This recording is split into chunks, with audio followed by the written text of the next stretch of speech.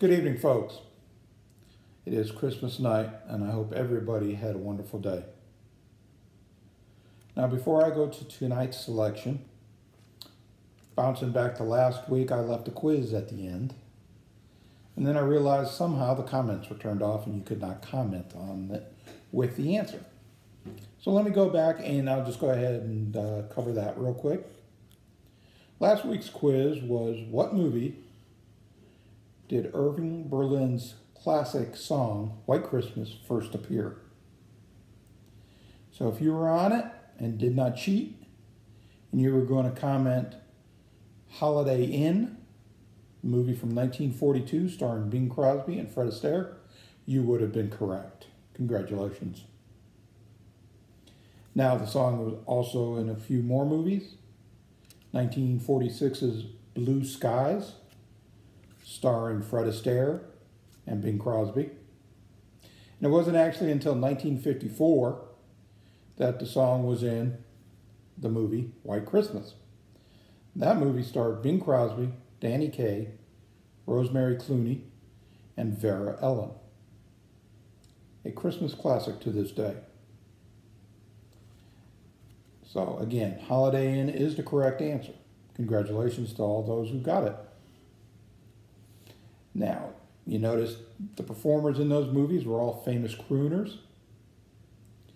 Now, tonight's offering is from Jack Daniels. You're probably wondering what does Jack Daniels and crooners have in common? Just going to cut to the chase. Frank Sinatra. So, December, December 12th specifically, would have been Frank's 105th birthday. So, it's obvious that this would be the month that Jack Daniels releases, and Santa was very good to me this year, Jack Daniels Sinatra Select. A brew, correction, a concoction specifically dedicated for Frank Sinatra. Now, Frank first had Jack Daniels about 1947 with Jackie Gleason. And upon first sip, it was reported Frank said, This is the nectar of the gods, to which I must agree. Small g on the gods part. But, anyways, like I said, 12 December would have been his 105th birthday. Stand by for a quiz at the end of this one. Now, what makes Sinatra Select different from a regular Jack Daniels? Well, the oak cask these are mellowed in have deep grooves cut into the inside, which a lot gives the whiskey more area to permeate and absorb that oak, rich oak flavoring and coloring. If you notice, uh, let's see if I can do the lighting right here, the amber color. That is in part due to those deep grooves in the barrels. Now, I'm going to pop this top. I have not popped it yet, so I am looking forward to it. Why don't we just cut to the chase here? All right. Cork. Remember what I said about corks. Must be quality if they have a cork in it. And the aroma now, I'm not even I am catching the aroma, the vanilla, the oak is just wafting up from the bottle. This is marvelous. Mm, just so smooth. Cannot wait to try it. And I am going to try it. Now, normally, you know, in my past, what I'll do is I'll take a shot of something. Well, tonight, in honor of Frank Sinatra, I am going to enjoy this Frank's way. Three, two, one. So let's begin. All right, three, two, one. You're saying what the heck's what the numbers?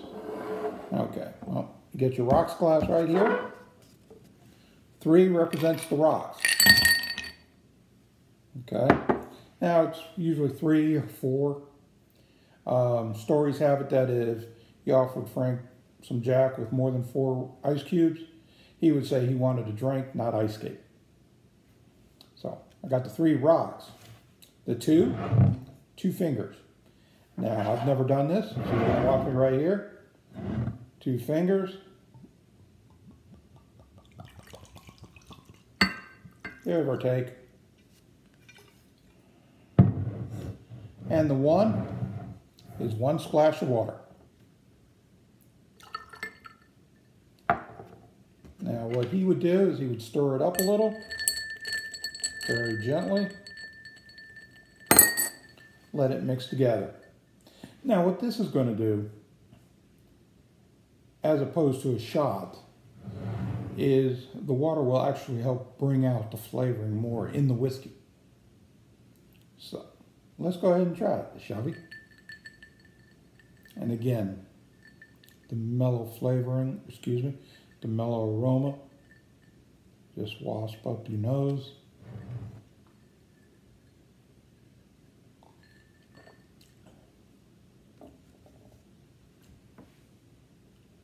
You do. It's a very mellow flavor. More, get that, the oakiness of the barrel. Finishes, finishing hints of vanilla. And this is very good. See, even my phone likes it. But anyways, Sinatra Select, yeah, if you can put your, get your hands on this, it's definite must. It is a little pricey, but definitely worth it. I can say that right now. So, now for my quiz tonight, and I will try to turn on the comments. But what film did Frank Sinatra win an Academy Award for Best Supporting Actor? Okay, that's your first question. Your second question is what Frank Sinatra hit did the line, if I could survive to 105, what is that song? And to, this year would have been his 105th birthday.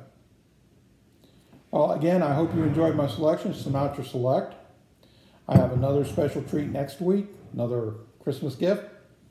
So be sure to tune in. And again, to Frank, Frank Sinatra, we love your music.